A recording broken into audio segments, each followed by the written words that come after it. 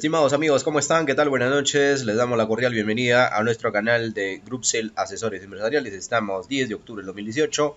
El tema que nos convoca para el día de hoy es la rectificatoria del PDTC 21 utilizando la versión tradicional. Eh, de alguna manera vamos a ver qué es lo que sucede cuando nosotros queremos presentar una rectificatoria. Bien, entonces vamos a, ver el procedimiento. Eh, como podemos observar, estamos rectificando el PDT de junio del 2018, el tema de IGB Renta. Eh, obviamente, en toda la información ya está eh, prácticamente almacenada en la data. Simplemente damos a grabar y de alguna manera pues vamos a presentarlo por eh, la, digámoslo, la, el método tradicional que nosotros acostumbrábamos. Se supone que este periodo debería, digámoslo, presentarse a través de la, haciendo el procedimiento tal como lo hacíamos. Entonces ya hemos guardado nuestra información, vamos a nuestra plataforma, le subimos para poder enviarlo la rectificatoria. Como este PDT ha sido presentado, digámoslo, mediante esta opción, entonces vamos a intentarlo enviar.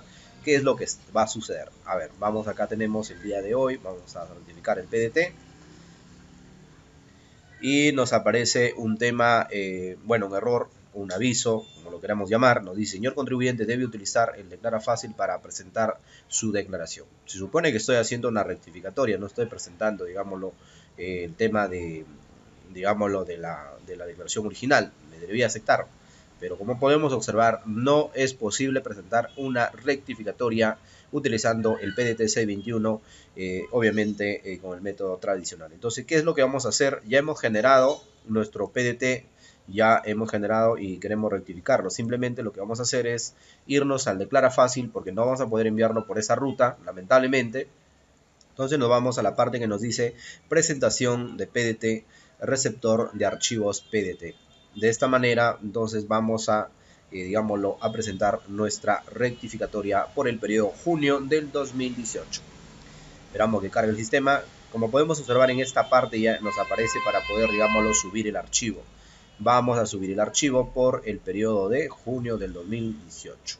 Entonces podemos ver que el sistema lo está generando, está subiendo para poder presentarlo. Bien, entonces ya ha subido el archivo, simplemente le damos enviar.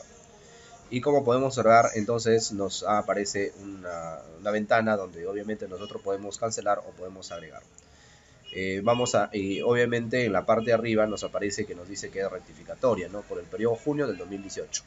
¿vale? Entonces, simplemente lo que vamos es agregar a la bandeja y así de manera sencilla podemos hacer nuestra eh, presentación utilizando el declara fácil pero obviamente con la información eh, almacenada en el PDT 21 De esta manera ya hemos generado nuestra eh, rectificatoria de nuestro PDT, obviamente con la versión anterior. Entonces acá podemos ver el tema de la declaración, podemos guardar, que no habría ningún, digámoslo, eh, eh, problema al respecto.